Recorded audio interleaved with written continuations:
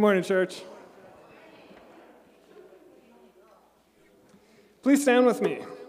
Let's begin our service in prayer. Father God, we thank you for the opportunity to gather together as your people. And Lord, we pray that you be honored and glorified as we worship you, as we offer up songs and praise to your name. You are so worthy. In your name we pray. Amen.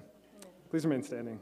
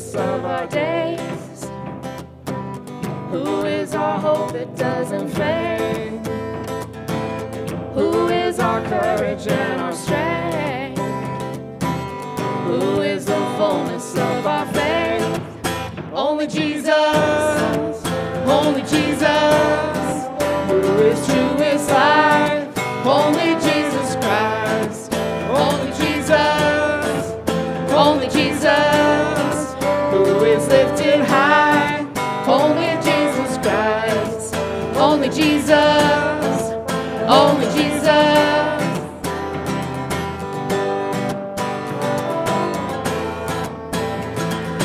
you are the way, the truth, and the life. You are the blood, the water, the vine. You are the word, and you are the life. Only Jesus, only Jesus. You are the way, the truth, and the life. You are the blood, the water, the vine. You are the word, and you are the life. only Jesus, only Jesus, who is lifted high. Only Jesus Christ, only Jesus, only Jesus, who is lifted high. Only Jesus Christ, only Jesus, You are the way, the truth, Only and the life. Jesus, You are the blood, the water, who and the true is You are the I. word, and you Only are the Jesus. Christ. Only Jesus. only You Jesus, are the way, the truth, and Only the life. Jesus, You are the blood, is the vine. lifted You are the high. word, and you Only are the vine. Jesus Christ. Only Jesus. Only Jesus. Amen. You can be seated.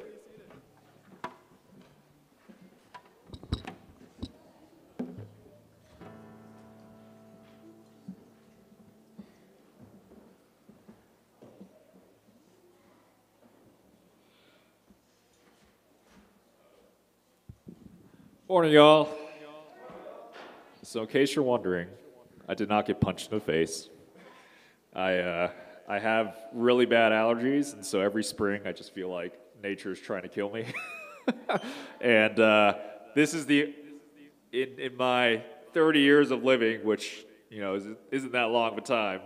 Um, I've tried like everything to like get over it, and just plugging the nose with tissue is the the best thing I found. So.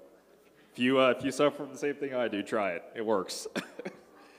um, okay, so announcements. Um, so May the 4th, which is also, I believe it's Star Wars Day as well.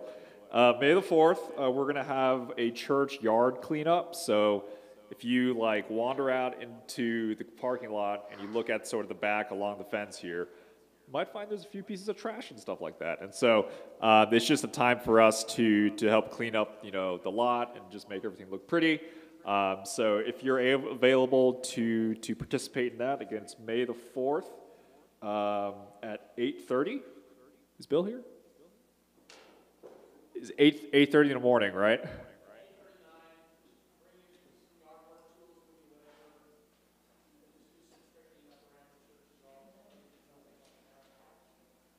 Yeah, it's a good time.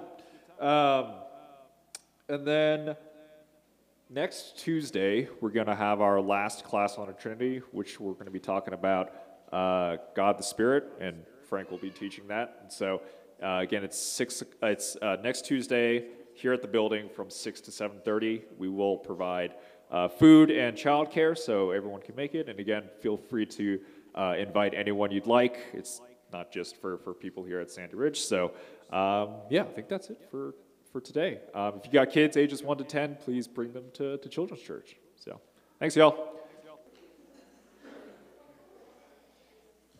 Grab your Bibles, please, and open up to the book of John, chapter 10.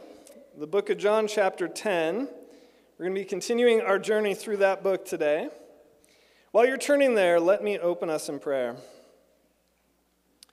Father God, we thank you for the opportunity to study your word here today, Lord. As we go through a very famous passage, I pray that you would help us to understand what you would have us understand, Lord, that you would help us to learn a little bit more about your character, and ultimately, Lord, I pray that we would be encouraged and motivated by the words that we're going to hear today.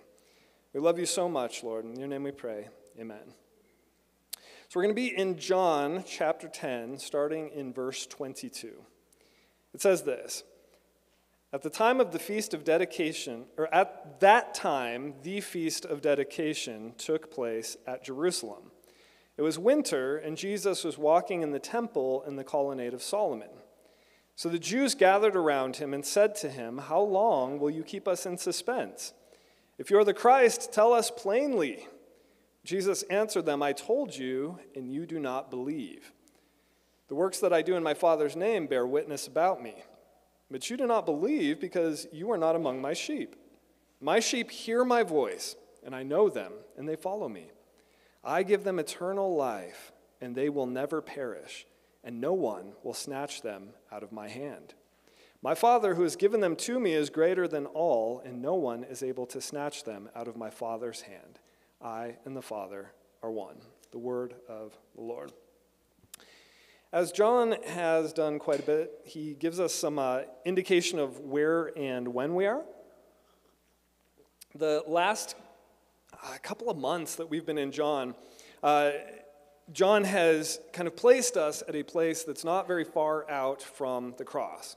Kind of keep in mind that we are in the final stretch, even though there's quite a bit more of the book of John to go. We are already in the final stretch of Jesus' life, the last couple of months before he would be murdered and then resurrected on the cross.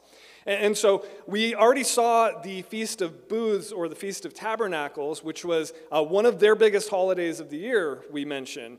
Um, it was basically like Thanksgiving and New Year's all mixed up in one. It was the beginning of their year, but it was also their fall harvest. And so that was in the fall. Now we are in the winter, and we're looking at the Feast of the Dedication. This is not a feast that God commanded in the Old Testament. He commands lots of feasts, right? Uh, he commands his people to celebrate Passover. He commands his people to celebrate Yom Kippur, the Day of Atonement. He commands his people to celebrate the Feast of Booths. He does not command them to do this one. Uh, they chose to do this one. Sometimes holidays are fun, right? uh, no, this one, uh, there's another name for the Feast of the Dedication. In Hebrew, you would call it Hanukkah. So this is Hanukkah. Um, this is when this happens. Hanukkah actually celebrates some events that happened in the intertestamental period. So, in between the Old Testament and the New Testament, there was a rebellion by the Maccabees, and they won. And so that's what Hanukkah celebrates. And so, during this time, mean, see, it's winter, and Jesus died at what time of year? The spring. That's when we celebrate Easter. Uh, unlike Christmas, that one actually did happen in the spring because that's when Passover is, and it's tied to Passover.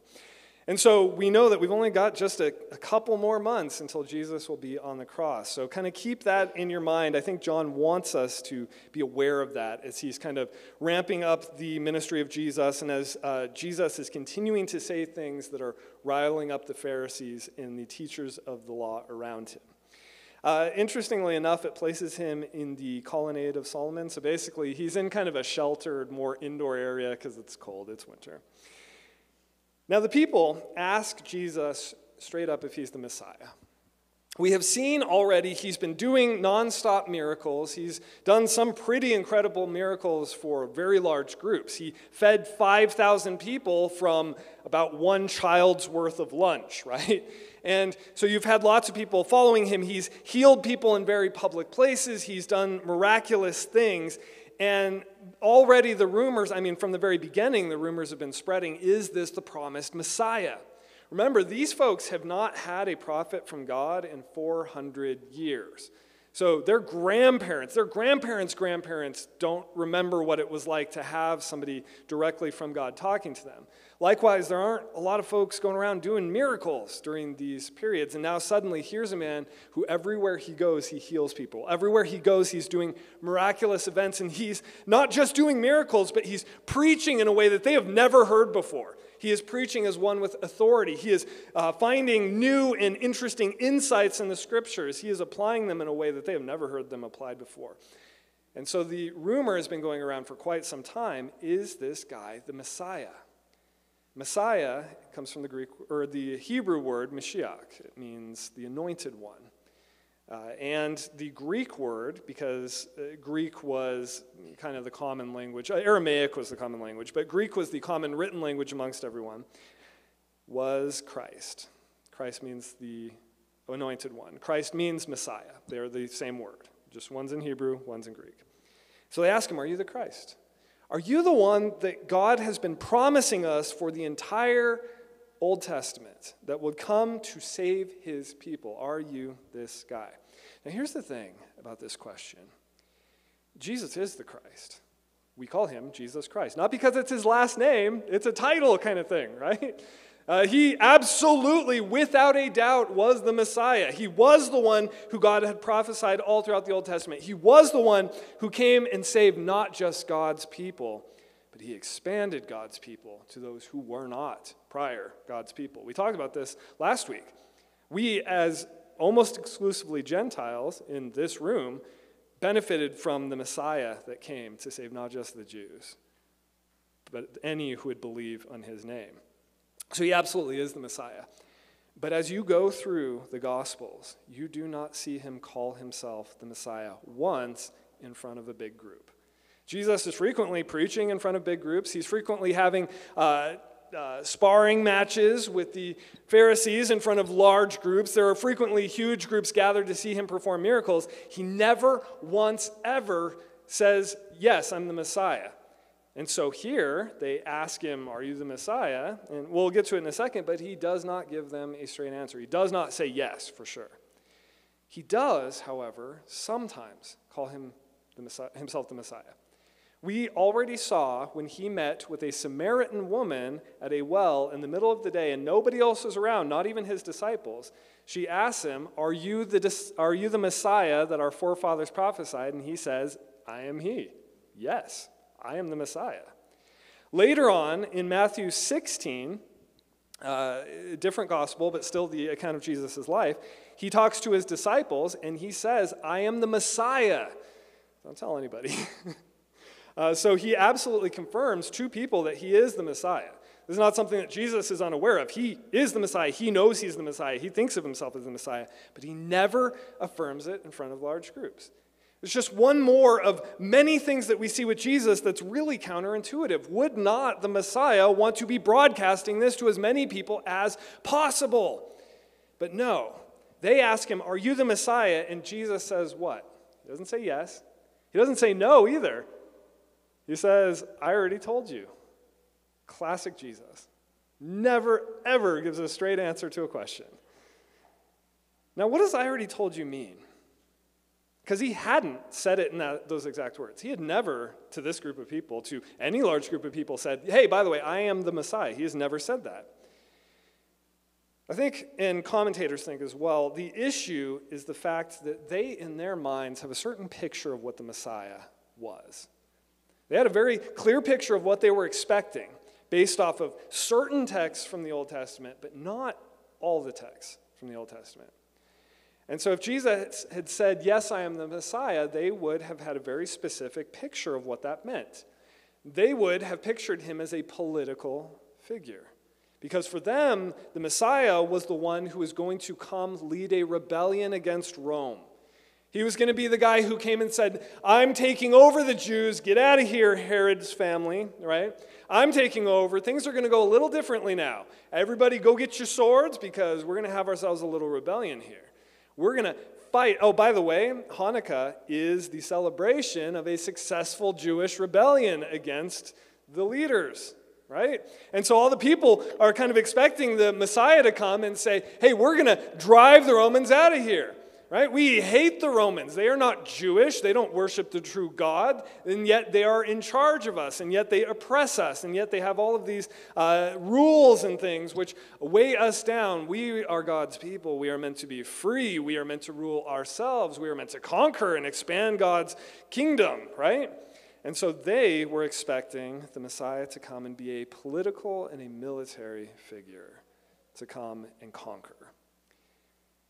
But of course, when Jesus came, he was not even remotely close to either of those things, was he? He was about as far away from those as you could possibly be. And in just a couple short months, we are going to watch him be murdered, tried unjustly, on strung up false charges. We're going to watch him be murdered. We're going to watch him be strung up on the cross, a criminal's death, the most ignominious death you could have, torturous as well, and then put in a borrowed grave, a buried grave. This is not what anyone was expecting. And so, if Jesus had said, Yeah, I'm the Messiah, they would have just not even known what he was saying. They would have gone in a completely different, direction. What Jesus is doing when he says, I already told you, is to cause them to ask, Did you? What, what did he say? And to start looking into what does the Bible say about the Messiah? What did he say that lines up with this? We've heard the words that he said. He's spoken a lot about Scripture. Uh, what, what does all of this mean? And he, he, he is inviting them to go back and study what God has said so that they can discern what he has actually indicated, how he has indicated himself as the Messiah.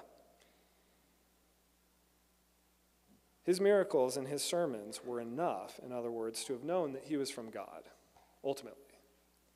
People should have been able to tell. The miracles that he performed, paired with the expert handling of the scriptures, was enough for people to have known that he was from God. And from that point, they would have been able to determine by the things that he was saying that he was the Messiah. Not the Messiah that was the military leader, but the Isaiah 53 Messiah that we've brought up quite a bit over this series. The suffering servant, the one who came to take the iniquities of the world onto himself, the one who by his stripes we are cleansed. Those are literal stripes. He is going to be flayed before he is put up on the cross. And so when that happens, everyone who knew their scriptures should have been able to look at that and say, oh, oh, it's that Messiah. Okay. Now, as has been the norm throughout this whole section, Jesus kind of hops between a couple of different uh, noteworthy things for us. And so we've talked about him being the Messiah. The people ask him, and he will not give them a straight answer. He says, I've already told you, okay, he is the Messiah, uh, but he wants them to figure it out, basically, because their mindset's not in the right place to even understand what the Messiah is. And now he goes back to this motif that we have seen him using for the past several weeks. You guys sick of sheep yet? No, of course not, because Jesus is not done with the sheep, and so we are not done with the sheep. He says again, um, the ones who recognize that he are the Messiah are his flock. He says, You don't recognize me as such, but my sheep do. And then he gives this passage, and this is where we're going to camp out and spend the rest of our uh, day today. In verse 28, he says, I give my sheep eternal life and they will never perish, and no one will snatch them out of my hand. I give my sheep eternal life, and they will never perish, and no one will snatch them out of my hand. This is pretty rich, okay? Um, this is like a, a, a, really thick fudge cake kind of thing where you can't eat the whole thing. This is rich. So we're going to take some time to pull this apart and see what it is that Jesus is saying here. First of all, he says that he gives his sheep eternal life. He gives his sheep eternal life.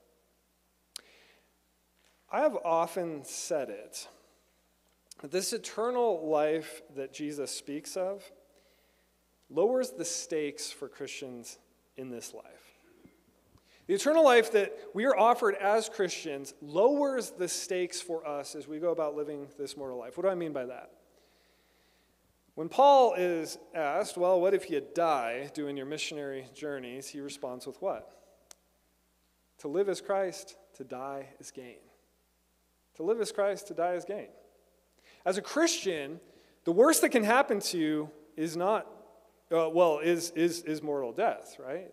Someone can take our lives. For the secular world, this is absolutely devastating because for them, there is nothing aside from this mortal life.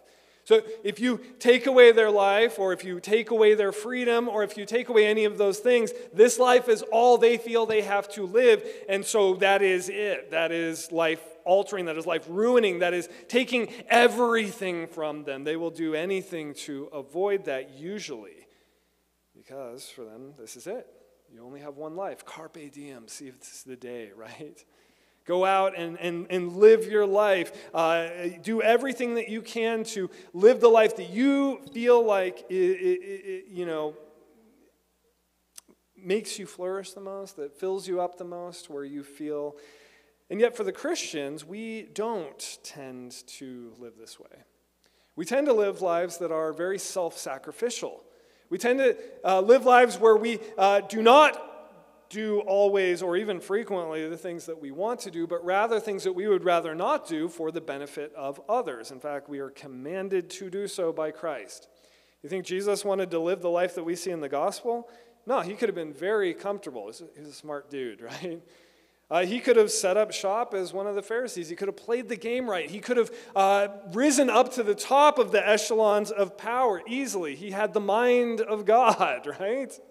And the power of God, too. He could have uh, led a religious movement that instead of um, uh, continuing to rise and then fall, we've seen he loses disciples as quickly as he gets them. He could have uh, converted all of Judea. He could have been the Messiah that led an army. He didn't do any of those things. Why? Because he loved us, and what was required to save us was sacrifice, not comfort. In the same way, we as his followers, our people throughout history, have led lives that were not as comfortable, not by half as they could have been. We have people who've made enormous sacrifices. We have had people who have given up everything that they cared about, everything they've known to move halfway across the world to pour into and love and serve people who didn't speak the same language, who were not of the same culture, who were viewed by their contemporaries and their peers as, as uh, weird or subhuman. Or we have, we have Christians who've devoted their lives to starting hospitals or orphanages. We have Christians who have given up everything they owned to the poor. We have Christians who have spent time with lepers. We have Christians who, um, rather than flee in the midst of natural disasters, have stayed to aid and help and rebuild. What allows our people to do this is not that we have tricked ourselves or convinced ourselves into enjoying adversity, right? Uh, that, that somehow we've tricked ourselves into believing that, you know, suffering is, is good in and of itself. It's not. The Bible doesn't teach that. But what gives Christianity its power? What gives our people this unique ability to undergo uh, anything less than full pursuit of our own desires and our own good and our own comfort? Is the fact that we know this life is not all that there is. We know that this life isn't anything compared to the next one. Paul says that in those exact words in Romans 8. He says, For I do not consider this life to be worthy of comparing of the next one. He says, This life, this is like a woman in childbirth, right? The world, if we're going to anthropomorphize the world, it's like a woman who's in the midst of giving birth. Ladies, is that fun? is that like, uh, that, that like a good thing? Like, hey, yeah, this is, you know, um, no. A lot of pain, a lot of suffering it's actually a pretty good metaphor for a lot of the things we see in this world. Have you ever looked around and said, hey, the things that are going on, this is like a woman in the midst of childbirth with all the labor pains, no epidural for this world, right? And the baby is probably breached. I don't know. Um,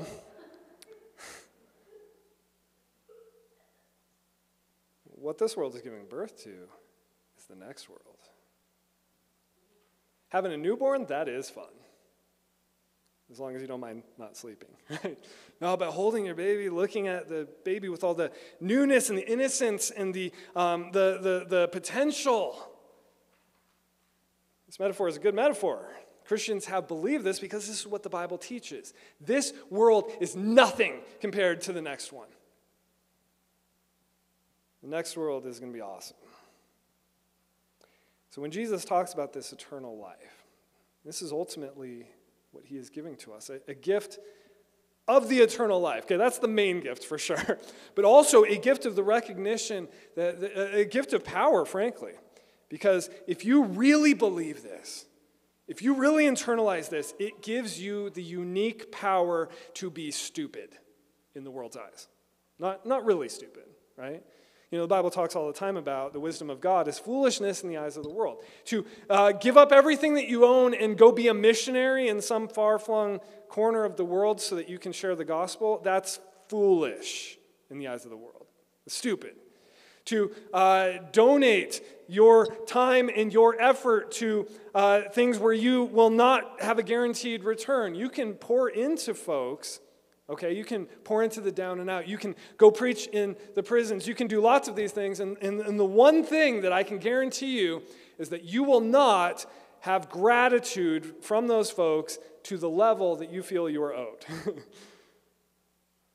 Because you know exactly how much you sacrificed all that time, all the effort, all the pain, all the uh, pouring into folks to watch them just get to a point where, like, yes, their life is trending in a better direction. Things are working. All this effort I put in, it's ha- and then no, they crash and burn and they're lower than before, right? If you expect to uh, feel, at least get that sense of gratitude consistently and, and have that fill you up, it's not there. You got to be motivated by eternity. And so it's foolish for people to pour their lives, for Christians to do what we do, basically, in the eyes of the world. But it's not actually foolish. Because we know that what we're doing is investing in the future kingdom. We know that this life is not all that there is. We know that we are called to be obedient to Jesus, to pursue his mission, to start building his kingdom now, but his kingdom will be fully inaugurated later, and we get to live there. And so, we get to be bold. Because the loss of our comfort in this mortal life isn't nothing. Uh, it is nothing.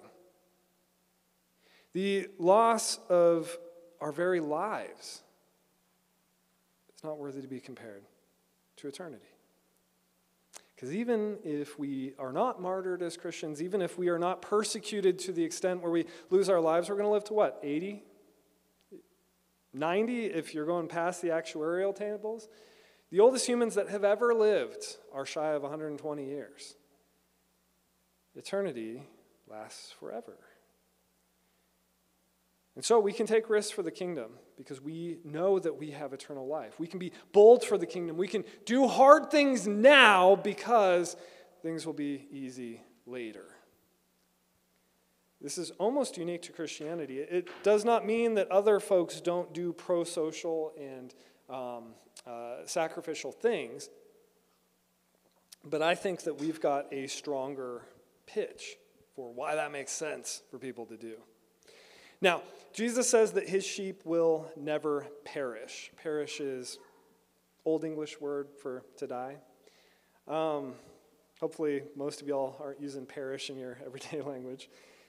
But it, it goes along with the thought that he gives eternal life. It's the flip side to that. You won't die. This, of course, does not mean that we will never die in this mortal life because death is assured for every Christian until Christ comes back. But, as we'll soon see, we will die, but then be raised into an unending life.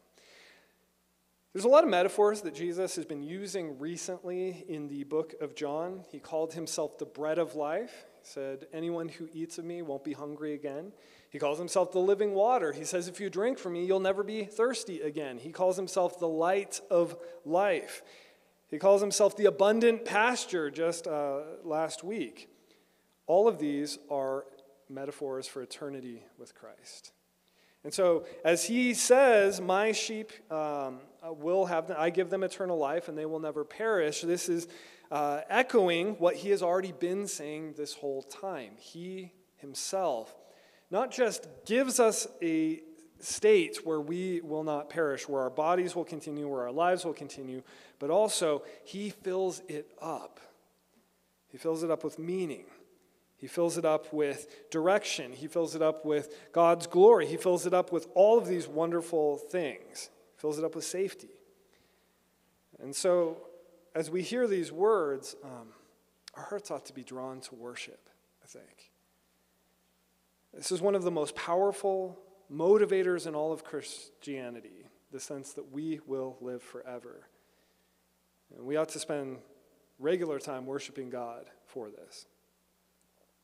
And we come to that phrase no one can take them out of my hand. No one can take them out of my hand. What does this mean? Does this mean that anyone who belongs to Jesus, who is a Christian, cannot become an apostate? What's an apostate? An apostate is someone who is a part of a religious movement and then they decide that they don't believe it anymore and then they are not a part, right? That's an apostate. So, is Jesus teaching here that his sheep can never become apostates? I don't think so. Um, because we have lots of examples in our own lives of people who used to call themselves Christians and who do not today, right? This is an extremely common thing. But also, we see apostasy in the New Testament. Jesus called how many disciples to follow him? He called 12 directly. He went up to them and said, Hey, come follow me. And then they did. How many disciples stuck with him? 11. Even one of his handpicked guys fell into apostasy and died not as one of his flock. No, Jesus isn't saying that apostasy doesn't exist. Judas was an apostate, and he had literally every single advantage. Jesus, God Himself, called him directly by name. Uh, indeed, Jesus gives a parable in Mark about four seeds that is frequently used when we talk about these things. Uh, if you want to join me in Mark chapter 4, we'll go ahead and read it just so we get the words exactly right. Verse 3, Jesus says, Listen, behold, a sower went out to sow. Okay, this is a farmer who is sowing seeds. And as he sowed, some seed fell along the path, and the birds came and devoured it. Other seed fell on rocky ground where it did not have much soil, and immediately it sprung up, since it had no depth of soil. And when the sun rose, it was scorched, and since it had no root, it withered away. Other seed fell among thorns, and the thorns grew up and choked it, and yielded no grain. And other seeds fell into good soil and produced grain, growing up and increasing and yielding thirtyfold and sixtyfold and a hundredfold. Now, as with so many of Jesus' parables, the people didn't really understand. He said, Seeds? What? We don't understand what you're saying. And even his disciples didn't understand, we're told in Mark. And so they come and ask him, and he tells them, he's going to explain it just for them because they're special. In verse 14, he gives his explanation.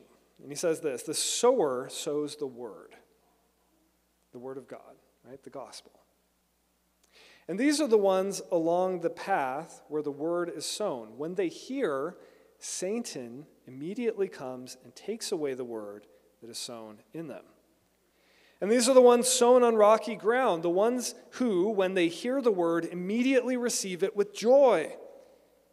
And they have no root in themselves, but endure for a while. Then, when tribulation or persecution arises on account of the word, immediately they fall away.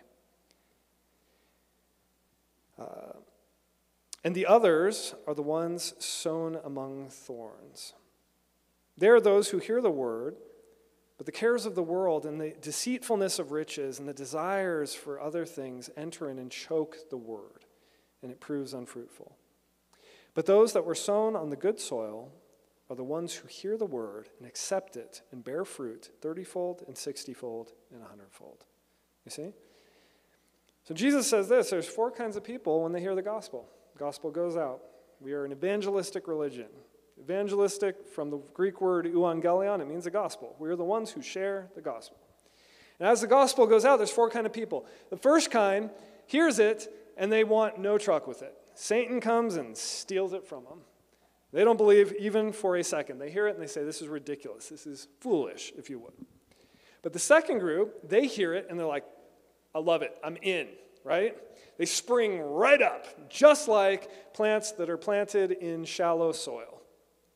But because they don't have a strong root structure, the second difficulties come into their life, tribulations and things like that, they get destroyed. And they're like, you know what? Maybe God's not real.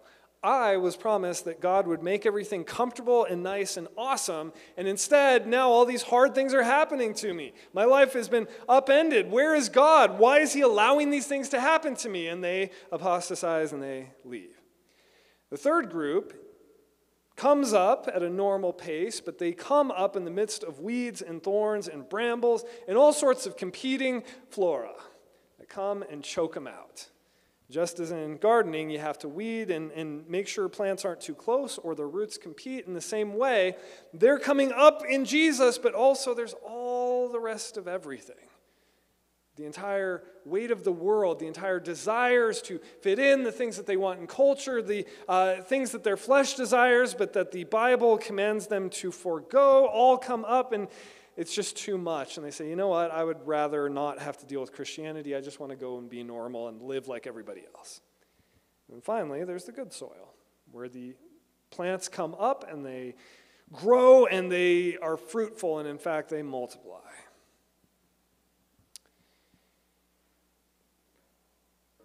Those second two groups are interesting, are they not?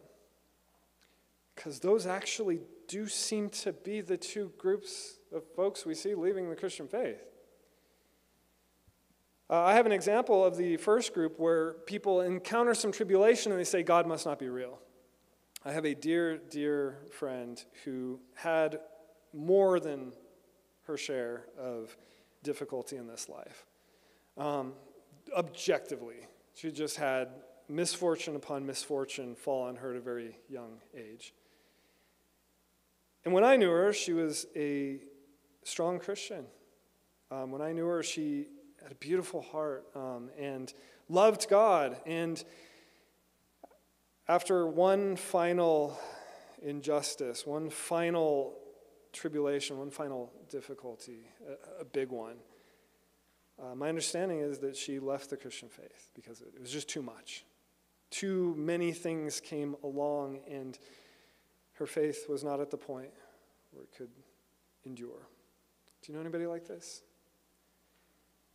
Any folks who have experienced an unusual sickness or known someone close to them who has uh, experienced something that's just not within the norms of what most people have? Uh, someone who's had a car accident, someone who's had uh, something really abusive and terrible happen within their life. This can be a powerful motivator for people to leave.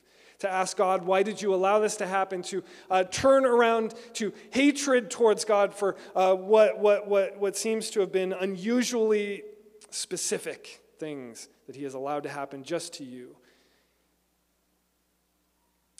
The third group is the ones who fall too much in love with the world. And there's almost, um, amongst pastors, there's a widespread recognition that frequently when we have folks coming and saying, Hey, I've listened to such and such or so or so, I've watched some YouTube videos that show how the Bible's actually not like intellectually very robust, right? There's all sorts of contradictions. It's all broken. It's all wrong, right? Um, and, and Christians are foolish for believing this. I watched some really convincing stuff where young Christian students who go away to college and their first professor's like, Hey, have you ever heard about this in the Bible? And they're like, No, that's not in there. And they look and they're like, Oh, there it is. That's a difficult thing. And I've never heard about this before. And then their faith is destroyed and they leave, right?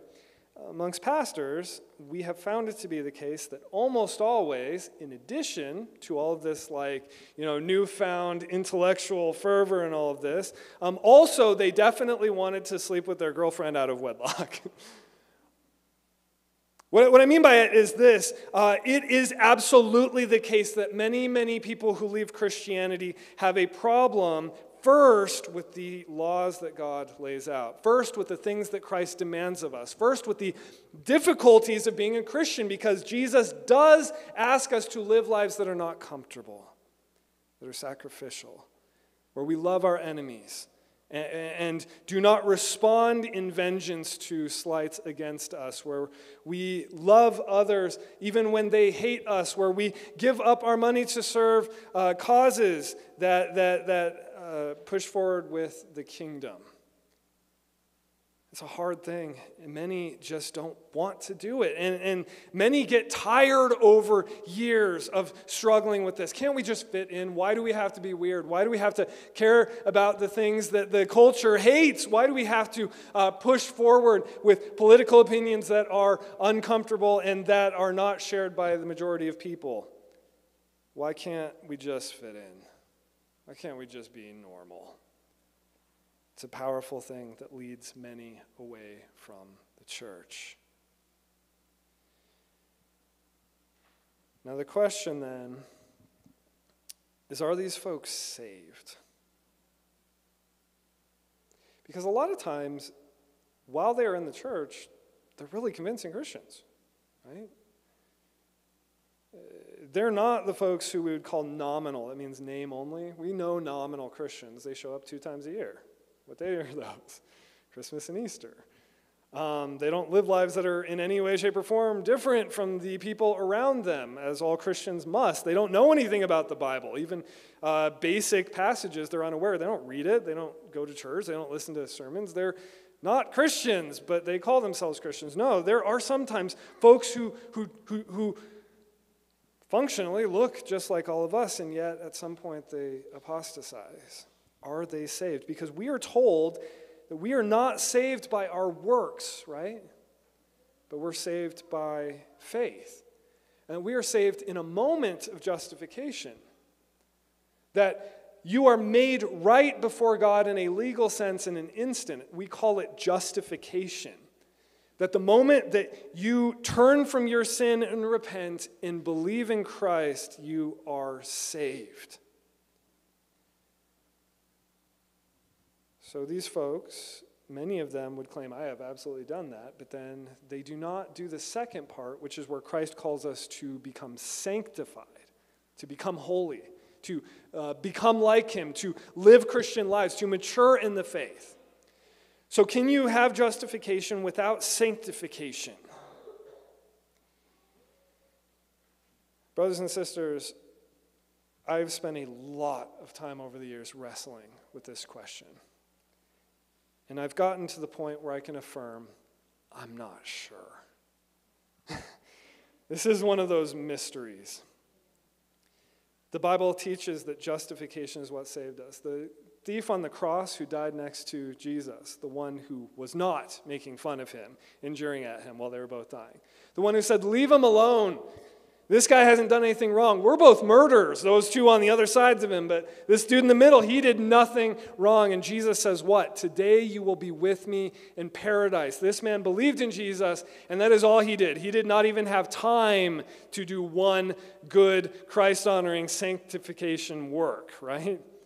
Because he died immediately after believing in Jesus. And yet Jesus says, You'll be with me today in paradise. And yet, the Bible is very, very clear that it is not enough just to become justified if you want to be a Christian. Justification is the beginning of your new life. You are born again, you become a little infant, and then you grow up into maturity of Jesus. It, it says you literally become a new person. The old is gone, the new has come. If you're not living a Christian life, are you a part of Christ's flock? I don't think so. Because to be a part of Christ's flock, Jesus says the requirement is you know his voice. How can you possibly know his voice if you aren't living a Christian life? If you don't know anything about the scriptures, if you haven't followed his command to be in community with other Christians, if you um, aren't living a life of self sacrificial love, if you aren't following the commands of Christ, in, in what way do you know his voice? How would you be able to know that? We've seen this over the last couple of weeks, this metaphor that he's put out. And, and not only that, but the Bible talks an enormous amount about the need for Christians to endure in their faith. We're going to be talking about this plenty later on in John. But it says it again and again and again. A, a, great representative passage is in Hebrews 3. It says this, verse 12. Take care, brothers lest there be in any of you an evil, unbelieving heart, leading you to fall away from the living God. But exhort one another every day, as long as it is called today, that none of you may be hardened by the deceitfulness of sin. For we have come to share in Christ, if indeed we hold our original confidence firm to the end. You see, that sounds like it's really important to hold our original confidence firm to the end, does it not? So the answer is this Is justification enough to say, well, you know, the rewards are probably going to be lacking for folks who are apostates, but they, they, they, they may be in heaven when we get there? I don't know. I would feel very uncomfortable. I'd feel very uncomfortable teaching that. Because the Bible says the signs of true repentance, of true belief in Christ, are what? The fruits, the fruits of the gospel. And it is important for those to maintain and endure and hold on to their original confidence to the end. Now, there's a brief aside. Sometimes those fall away, who fall away come back. Do they not? In America, especially, it is not unusual at all to have kids who are raised up in a Christian church and then who go away to college and, and then decide, I, I don't believe any of what I was raised with anymore. And, and then to live life for a while and then later on in adulthood to be like, you know what, actually, maybe there was something to the faith of my childhood, to the faith of my parents, to the faith that I was raised up into, and they come back. This is something that does happen. Uh, Peter denied Christ three times. Remember? Uh, the ultimate act of apostasy. People are saying, Hey, weren't you one of his followers? And he's like, No, leave me alone. I don't know this guy. I want nothing to do with him. And yet he came back. Uh, we also see in 1 Corinthians 5, that's the passage where Paul's talking about a man in the church in Corinth who's doing stuff that's so gross that even the pagans look at it and say, That's weird, right? And, and Paul says, What? I have delivered this guy over to Satan. Uh, push him out of the church so that he can experience what it's like to be outside of the congregation. This is one of those rare instances where he says you need to uh, uh, uh, push someone out, right? Not so that they can be punished, but so that they can return and join the flock. And so, what I would say is this for those we know who have fallen away from the, um, the church, I do not believe that it is wise for us to apply the words of Jesus, where he says, No one can take them out of my hand, to these folks. I think we should approach them the same way that we approach any non believer. If someone has once claimed to be a Christian and now they have left, they still need to be evangelized. So, for my friends and neighbors who do not believe the gospel, what do I do for them? I pray for them regularly that they would come to know the saving gospel of Jesus Christ because they need it desperately for eternal life. And then I evangelize. I preach the gospel such as is wise to them. I try and share them the truth and the life giving power of Jesus' kingdom. And in every way, I try and love them, just as Jesus would have me love them. But I do not assume that they are Christians or that they are okay because they are not. So, having gone on this giant tangent, all to say that that probably isn't what Jesus means when he says, No one can take them out of my hand. That once you have uh, said a prayer once at a Bible camp as a kid, you're, you're good and you're in, whether or not you're actually living as a Christian. Then what does that mean? Here's an explanation. This entire time, Jesus has been talking in the context of himself as the shepherd, right? And we are the sheep, his followers are the sheep. And there are some bad actors out there that he calls wolves and robbers. The wolves are the ones who try and eat the sheep and destroy them. The robbers are the ones who try and either steal them or, again, destroy them for their own ends. They may be wicked preachers or they may be literal demons in the metaphor that Jesus put forward. Notice, by the way, that in the seed parable, the devil makes an appearance. Does he make an appearance for those who say that they believe? No. He makes an appearance for that first group, the ones that never believe in the first place. The devil comes to snatch the seed away before they even have time to believe.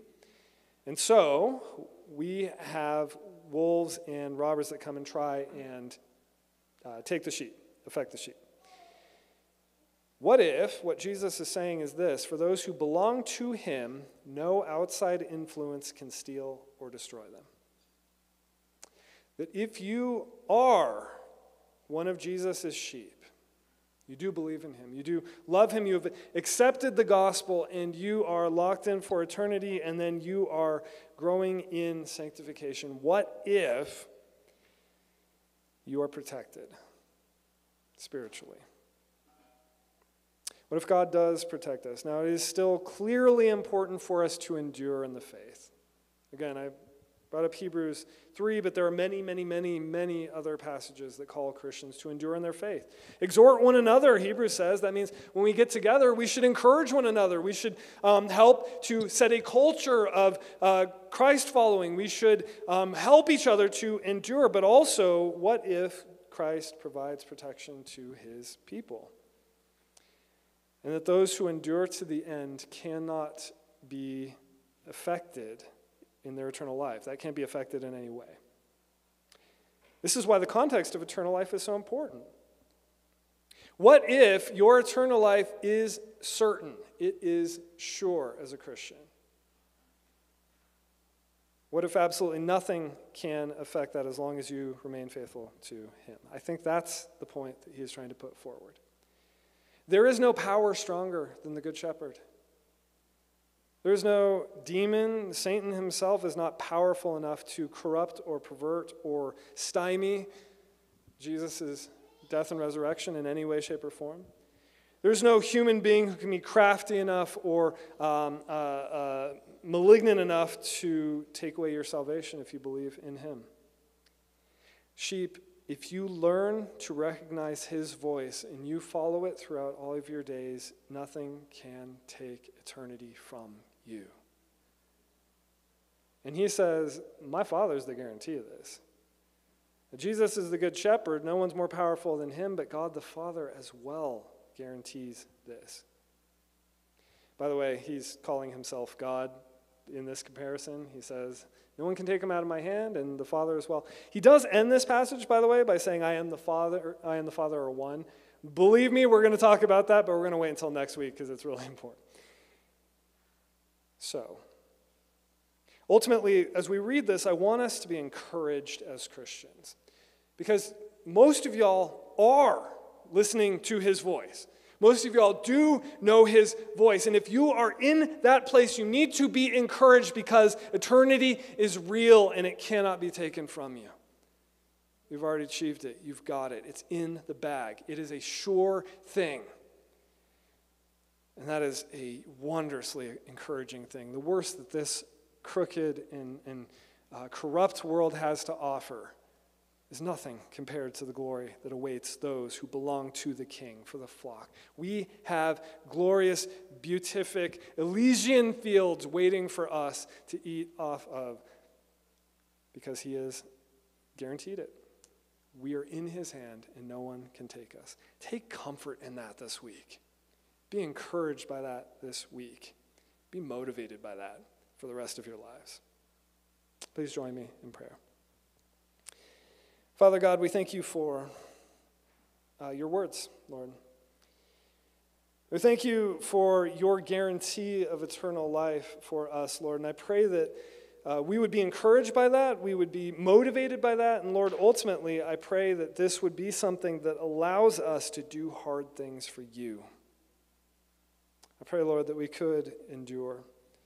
I pray that we would help one another, that we would encourage one another. We would continue to um, drink from the fountain of your word, from the living water. And Lord, I just pray that in all of these things you would be glorified as your people learn to follow your voice. In your name we pray. Amen. We now have the opportunity to take what we've heard and turn it around to worship. As always, we'll do this through the celebration of the Lord's Supper. Over the next couple of minutes, we'll play some hymns. Uh, please form a line and come and grab the elements, take them back to your seats, and we will say a liturgy together. I'll see you then.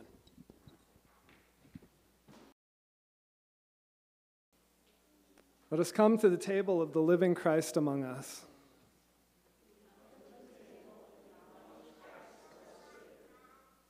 O Lord Jesus Christ, we confess that we have sinned against you in our thoughts, words, and deeds. We have failed to love our neighbors, and we have disobeyed your commands. And cleanse us of all unrighteousness, that we may walk in your ways.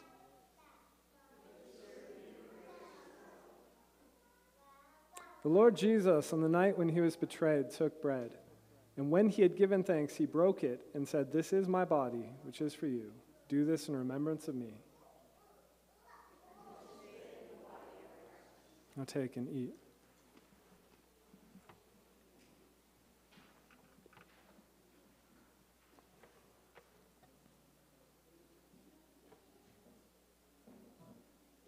In the same way, also, he took the cup after supper, saying, This cup is the new covenant in my blood. Do this as often as you drink it in remembrance of me. Now take and drink.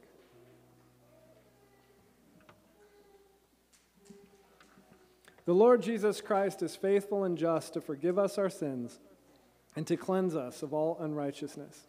Let us give thanks to the Lord our God.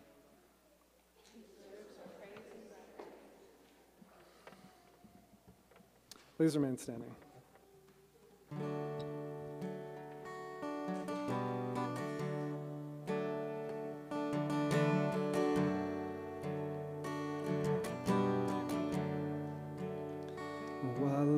My God would bring you down to earth? What king would take a low and lonely birth? Yet to this dark and broken place you came to sleep beneath the stars that you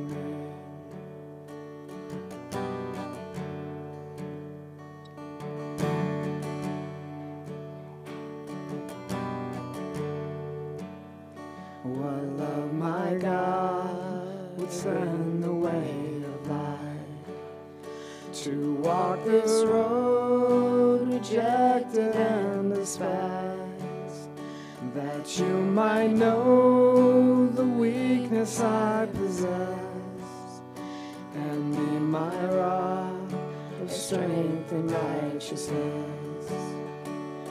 Oh, your love, my God, is like a flood, has heaven opened up Oh, praise the King who came into the world. In his love like a mighty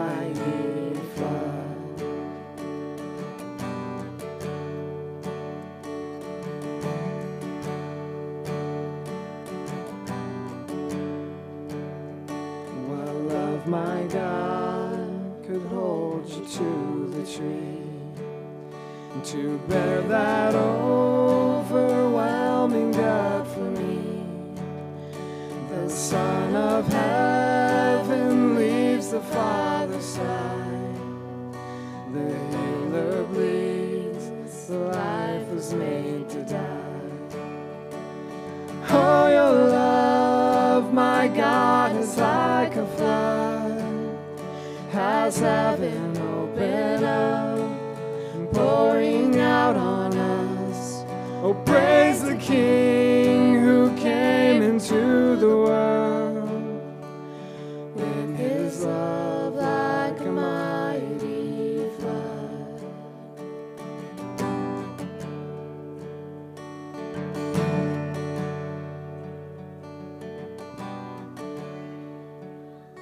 What love, my God, so gracious and extreme, was strong enough to come and fight for me, to go through hell and down into the grave, and raise me up to see you face to face. You raise me up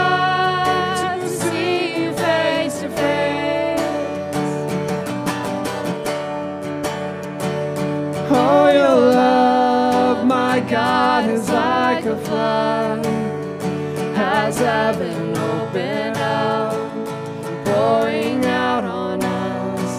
Oh, praise the King who came into the world in his love like a mighty flood. Oh, your love, my God, is like a flood, has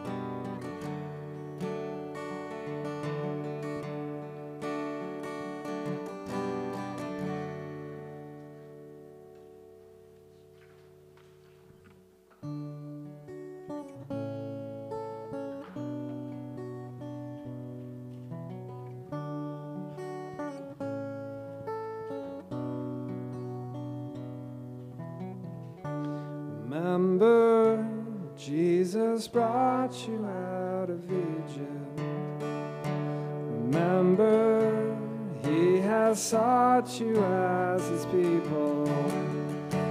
Remember, He has saved you from your sin.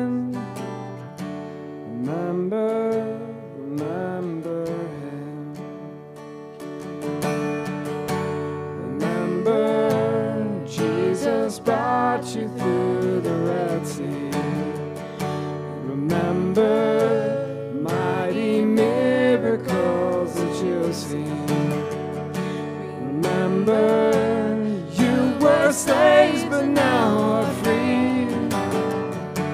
Remember that He is King. To the only God, our Savior Jesus Christ, be.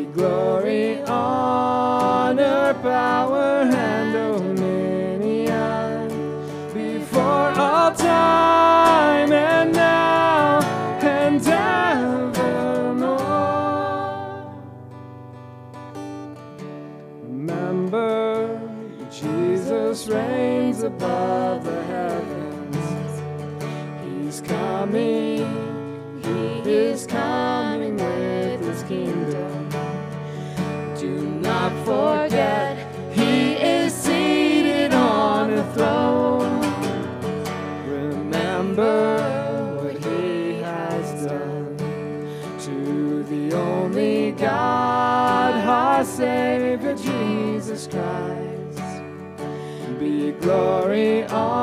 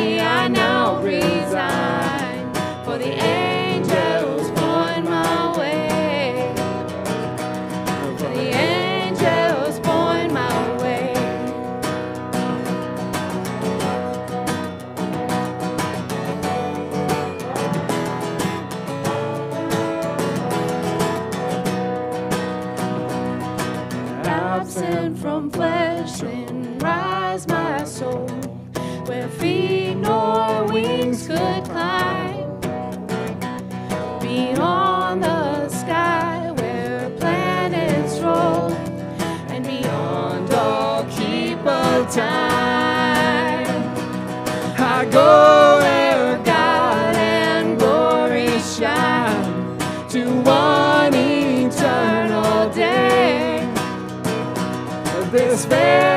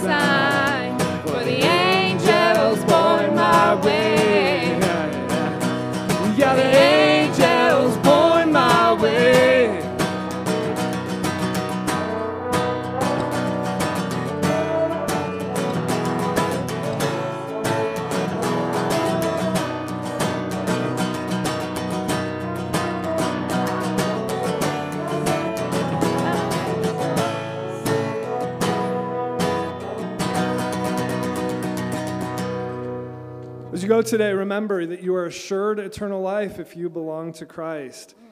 Know his voice, and no one will ever take you out of his hand. Yes. Go in peace.